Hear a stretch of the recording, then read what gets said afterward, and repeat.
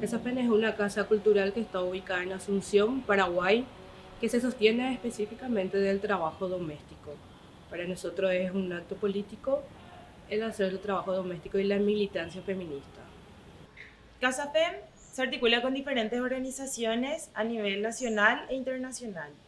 Actualmente formamos parte de diferentes redes, como por ejemplo la red de espacios culturales del casco histórico de Asunción, que aglutina 11 espacios culturales, y donde CasaFem es el espacio feminista que coloca la cuestión de género y la importancia de visibilizar el trabajo doméstico que hacen las mujeres para sostener las actividades culturales.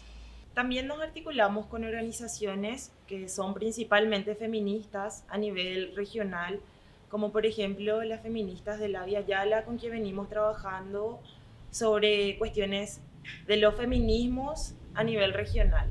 Esta es la primera vez que nos estamos acercando a organizaciones que están trabajando específicamente la cuestión del trabajo doméstico y creemos que es muy importante seguir construyendo estos lazos.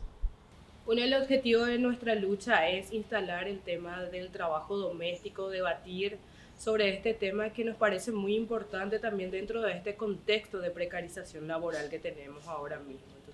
Como Casapel nos parece importante reivindicar el trabajo doméstico, ya que nosotras como militantes feministas realizamos este trabajo antes de cada actividad y después también. Entonces nosotras como feministas reivindicamos el trabajo doméstico porque es un acto político. En Paraguay hace unos años se aprobó la ley del trabajo doméstico gracias a la lucha de las mujeres trabajadoras domésticas organizadas y a nosotras como Casa FEN nos parece importante poder hacer un seguimiento sobre cómo se encuentra esa ley y cómo podemos también seguir aportando en el cumplimiento de la misma.